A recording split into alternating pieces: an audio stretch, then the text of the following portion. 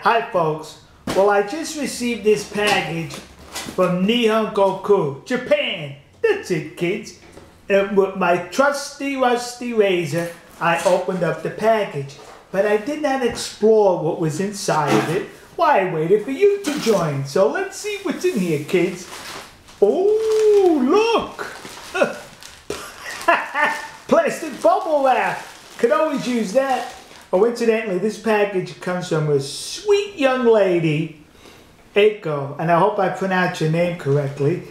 We were blessed to have her join us for two days when we were in Osaka. Then some days later, I think it was a week later, we were in Kyoto and she joined us for two days there also. And now she sends me this.